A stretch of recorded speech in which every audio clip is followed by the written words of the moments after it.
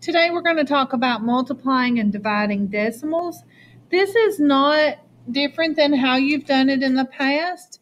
So I'm not going to spend a whole lot of time multiplying and dividing decimals, but I did want to give you a little refresher course on it. The only thing that will be different about it is now you have um, signs, so you just need to think about what sign would your answer be. So uh, multiplying and dividing decimals. And again, decimals are rational numbers. So maybe we should call it multiplying and dividing rational numbers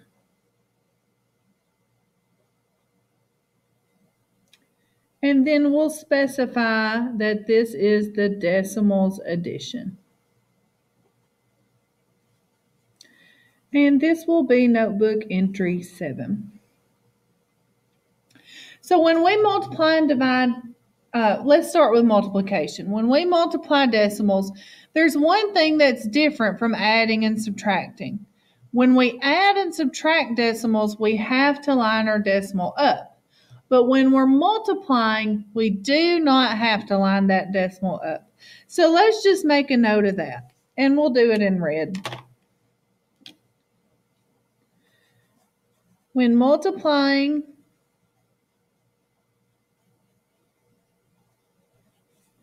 decimals, I do not have to line them up, to line the decimals up.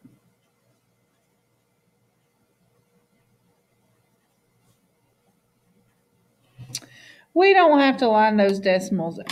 So let's do a few problems.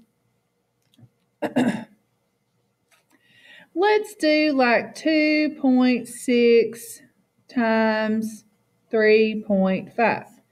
Now, it just so happened that that's how they lined up. It will not always work that way, but you just multiply like you usually would. You would say 5 times 6 is 30. Carry your 3. 5 times 2 is 10. 10 plus 3 is 13. Now you need a 0 here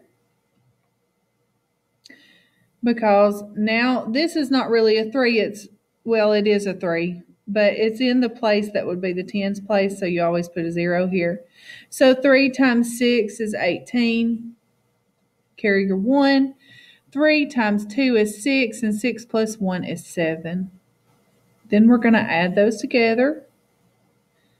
8, 9, 10, 11, 7, 8, 9. So it's 9, 10. Now, here's the part about decimals.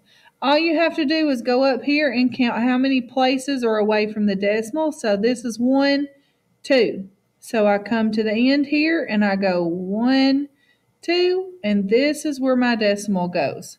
So my answer is 9.1. And I need to go back. This was a positive number and this was a positive number. And when I multiply two positives, I get a positive. So it's positive 9.1. Let's look at one where the decimals don't line up. So let's say we have 10.89 times 2.6. We do this the same way. 6 times 9 is 54. Carry your 5. 8 times 6 is 14. 14 plus 5 is 19. Carry your 1. 6 times 0 is 0. 0 plus 1 is 1. And 6 times 1 is 6. Now when you come down here, you put a placeholder, a 0, because we're moving over 1. 2 times 9 is 18. Carry your 1. 2 times 8 is 16. 16 plus 1 is 17. Carry your 1. 2 times 0 is 0. 0 plus 1 is 1. And 2 times 1 is 2. Now we're going to add those together. 4 plus 0 is 4. 9 plus 8 is 17. 7, 8, 9. 6 plus 1 is 7. And 2 plus 0 is 2. Now, we cannot forget to go back and put in our decimal. So we need to count how many places away from the right is the decimal. So there's one, two, and then here's one more, which makes three. So one, two, three. So we come to the end and we go one, two, three, and our decimal goes right there. So our answer is positive 27.974. And I knew it was positive because this is positive and this is positive. So positive times a positive is a positive answer. Let's this time let's do one with some negatives thrown in. Let's do negative 5 to 1.3 times positive 6. 6 is a whole number. It doesn't even have a decimal, so we don't have to put 1 because it's not any it's a whole number, so it's fine. So 6 times 3 is 18. Carry your 1. 6 times 1 is 6. 6 plus 1 is 7. 6 times 2 is 12. Carry your 1. 6 times 5 is 30. 30 plus 1 is 31. Now I need to add in my decimal.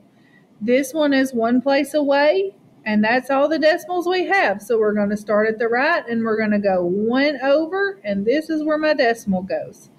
And now I have to go back to my signs. I had a negative and a positive. My signs were different, so that means my answer is negative.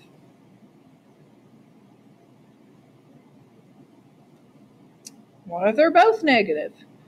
Well, negative 2, 1.2 times negative 5.3. Do it the same way. 3 times 2 is 6. 3 times 1 is 3. 3 times 2 is 6. Put a 0 here. 5 times 2 is 10. Carry your 1. 5 times 1 is 5. 5 plus 1 is 6. And 5 times 2 is 10. Add them together.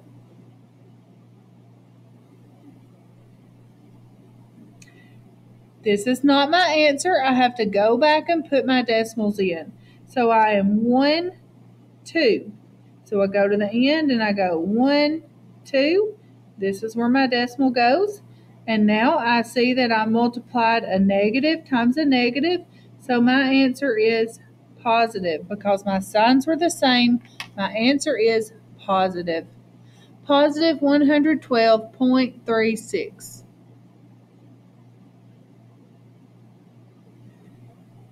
What if we have positive 10.22 times negative 2.1? 1 times 2 is 2. 1 times 2 is 2. 1 times 0 is 0. And 1 times 1 is 1. Put your 0 here. 2 times 2 is 4. 2 times 2 is 4. 2 times 0 is 0. And 2 times 1 is 2. Add them together. And don't forget your decimal. 1, 2, 3, one, two, three. Here's where my decimal goes.